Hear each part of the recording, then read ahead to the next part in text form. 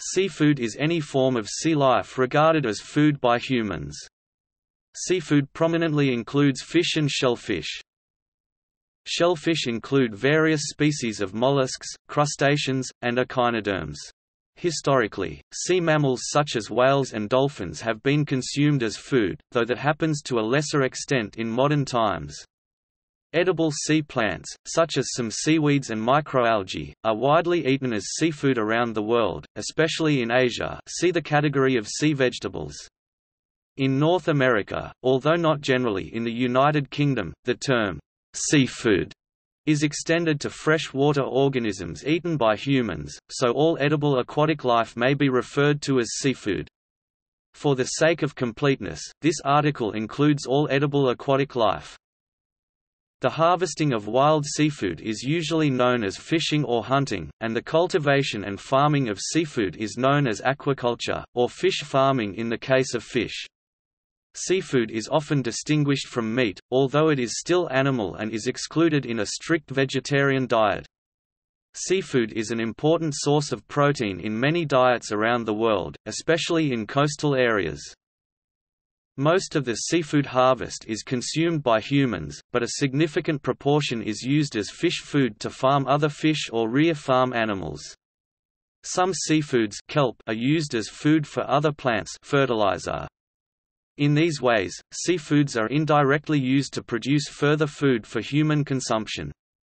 Products, such as oil and spirulina tablets are also extracted from seafoods. Some seafood is fed to aquarium fish, or used to feed domestic pets, such as cats, and a small proportion is used in medicine, or is used industrially for non-food purposes leather.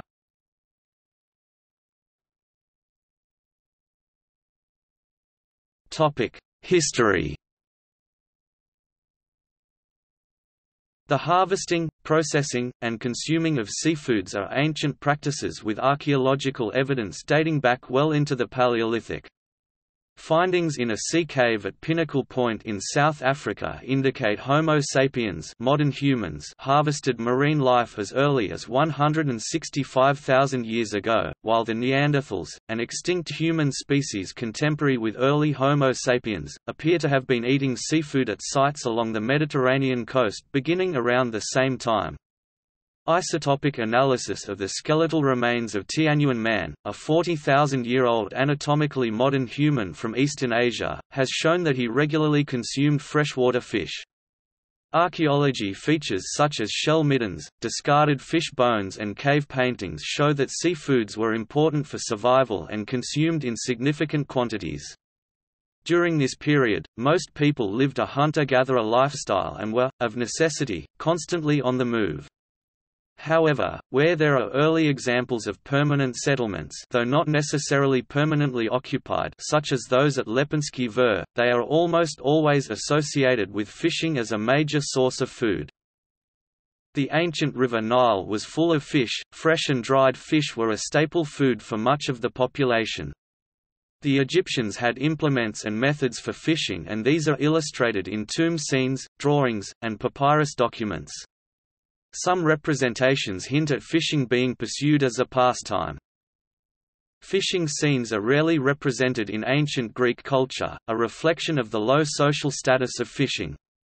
However, Oppian of Corycus, a Greek author wrote a major treatise on sea fishing, the Halieutica or Haleftika, composed between 177 and 180.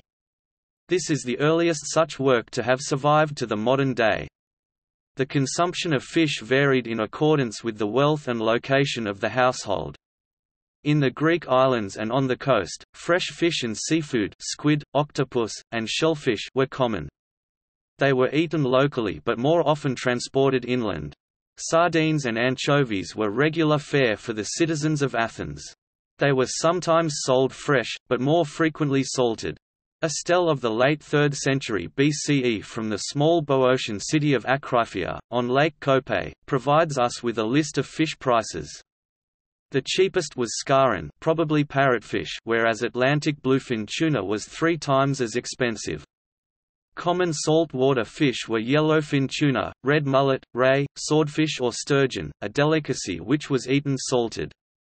Lake Kope itself was famous in all Greece for its eels, celebrated by the hero of the Acharnians. Other freshwater fish were pikefish, carp and the less appreciated catfish. Pictorial evidence of Roman fishing comes from mosaics. At a certain time the goatfish was considered the epitome of luxury, above all because its scales exhibit a bright red color when it dies out of water. For this reason these fish were occasionally allowed to die slowly at the table. There even was a recipe where this would take place in Garo, in the sauce. At the beginning of the imperial era, however, this custom suddenly came to an end, which is why Mullus in the Feast of Trimalchio see the Satyricon could be shown as a characteristic of the parvenu, who bores his guests with an unfashionable display of dying fish. In medieval times, seafood was less prestigious than other animal meats, and often seen as merely an alternative to meat on fast days. Still, seafood was the mainstay of many coastal populations. Kippers made from herring caught in the North Sea could be found in markets as far away as Constantinople. While large quantities of fish were eaten fresh, a large proportion was salted, dried, and, to a lesser extent, smoked. Stockfish, cod that was split down the middle, fixed to a pole and dried, was very common, though preparation could be time-consuming, and meant beating the dried fish with a mallet before soaking it in water. A wide range of mollusks including oysters, mussels and scallops were eaten by coastal and river-dwelling populations, and freshwater crayfish were seen as a desirable alternative to meat during fish days. Compared to meat, fish was much more expensive for inland populations, especially in Central Europe, and therefore not an option for most. Modern knowledge of the reproductive cycles of aquatic species has led to the development of hatcheries and improved techniques of fish farming and aquaculture. Better understanding of the hazards of eating raw and undercooked fish and shellfish has led to improved preservation methods and processing.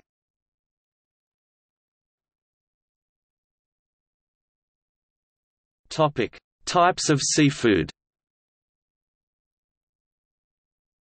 The following table is based on the ISSCAAP classification International Standard Statistical Classification of Aquatic Animals and Plants used by the FAO for the purposes of collecting and compiling fishery statistics. The production figures have been extracted from the FAO FishStat database, and include both capture from wild fisheries and aquaculture production.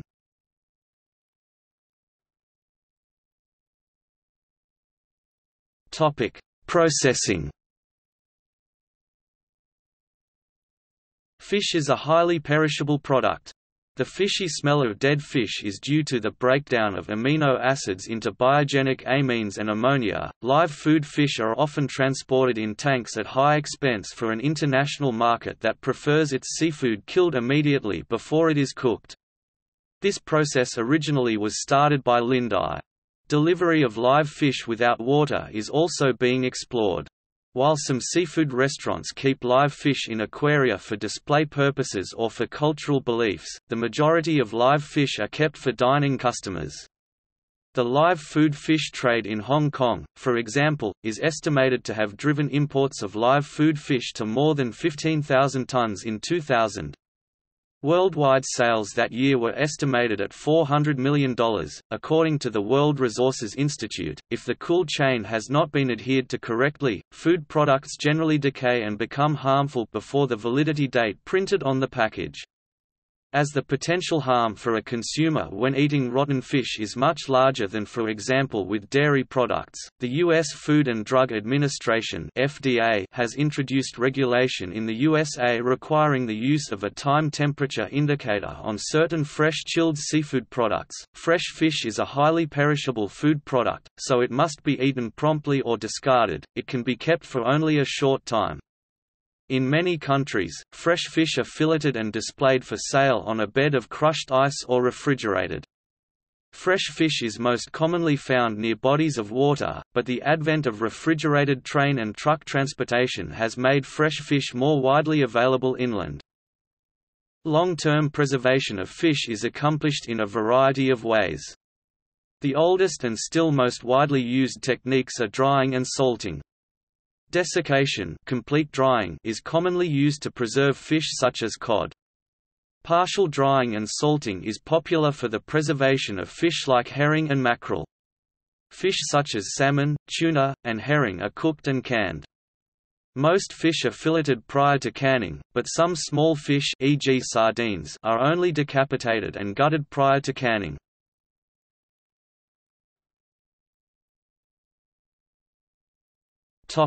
Consumption Seafood is consumed all over the world, it provides the world's prime source of high-quality protein, 14 to 16% of the animal protein consumed worldwide, over 1 billion people rely on seafood as their primary source of animal protein. Fish is among the most common food allergens. Iceland, Japan, and Portugal are the greatest consumers of seafood per capita in the world. The UK Food Standards Agency recommends that at least two portions of seafood should be consumed each week, one of which should be oil rich. There are over 100 different types of seafood available around the coast of the UK. Oil-rich fish such as mackerel or herring are rich in long-chain omega-3 oils. These oils are found in every cell of the human body, and are required for human biological functions such as brain functionality. Whitefish such as haddock and cod are very low in fat and calories which, combined with oily fish rich in omega-3 such as mackerel, sardines, fresh tuna, salmon and trout, can help to protect against coronary heart disease, as well as helping to develop strong bones and teeth.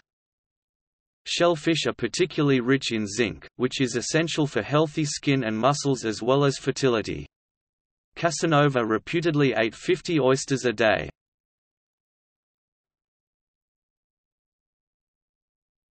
Topic: Texture and taste.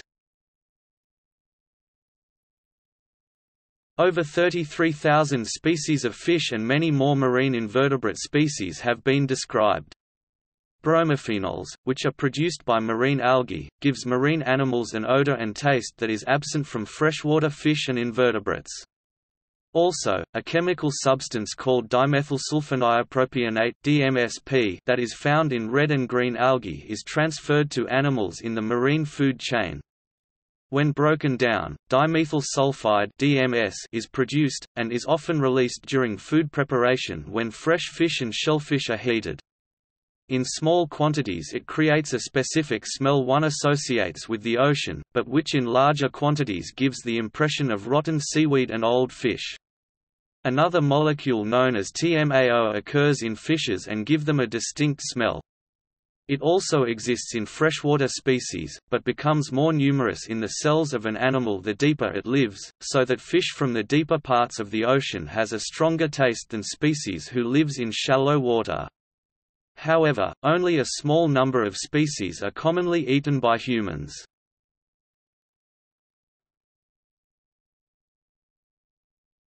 Topic: Health benefits. Fish can form part of a nutritious diet and is a good source of vitamins and minerals. Oily fish is rich in omega-3 fatty acid, which may benefit heart health.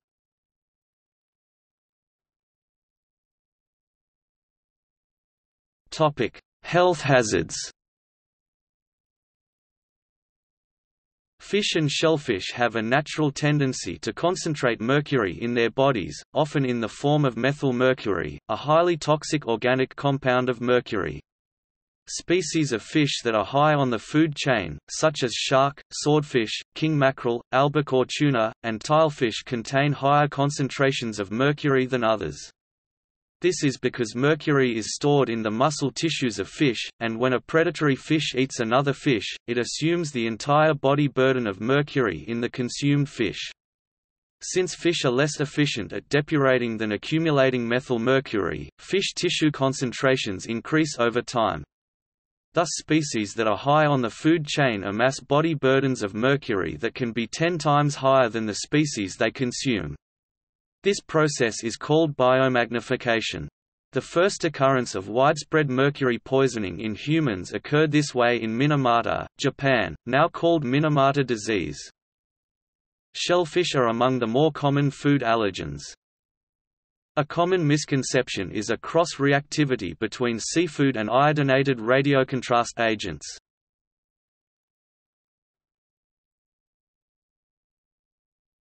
Topic: Mislabeling A 2013 study by Oceana found that one-third of seafood sampled from the United States was incorrectly labeled. Snapper and tuna were particularly susceptible to mislabeling, and seafood substitution was the most common type of fraud. These practices can harm both the consumer's wallet and pose health risks. Another type of mislabeling is short weighting, where practices such as overglazing or soaking can misleadingly increase the apparent weight of the fish. The detection of water retention agents helps identify the fraud and its origin.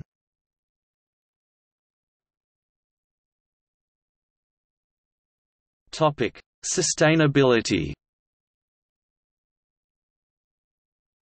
Research into population trends of various species of seafood is pointing to a global collapse of seafood species by 2048.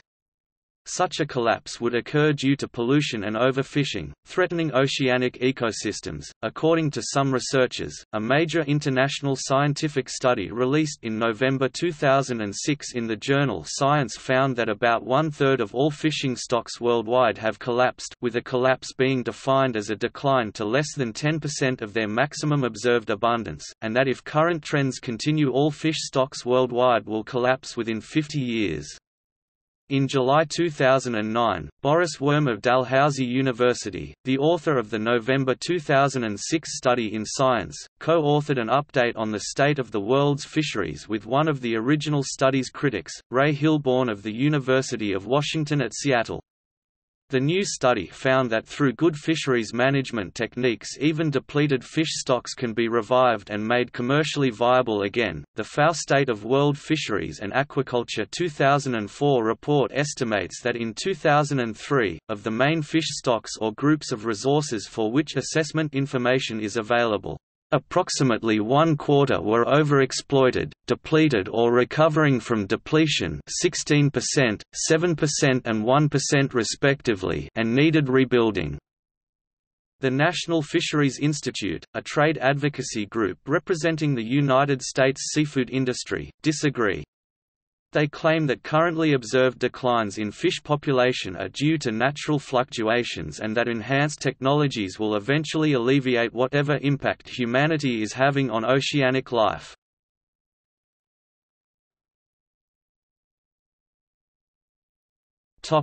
In religion For the most part Islamic dietary laws allow the eating of seafood, though the Hanbali forbid eels, the Shafi forbid frogs and crocodiles, and the Hanafi forbid bottom feeders such as shellfish and carp. The Jewish laws of kashrut forbid the eating of shellfish and eels. In the Old Testament, the Mosaic covenant allowed the Israelites to eat finfish, but shellfish and eels were an abomination and not allowed. In ancient and medieval times, the Catholic Church forbade the practice of eating meat, eggs and dairy products during Lent. Thomas Aquinas argued that these afford greater pleasure as food than fish, and greater nourishment to the human body, so that from their consumption there results a greater surplus available for seminal matter, which when abundant becomes a great incentive to lust. In the United States, the Catholic practice of abstaining from meat on Fridays during Lent has popularized the Friday fish fry, and parishes often sponsor a fish fry during Lent. In predominantly Roman Catholic areas, restaurants may adjust their menus during Lent by adding seafood items to the menu. See also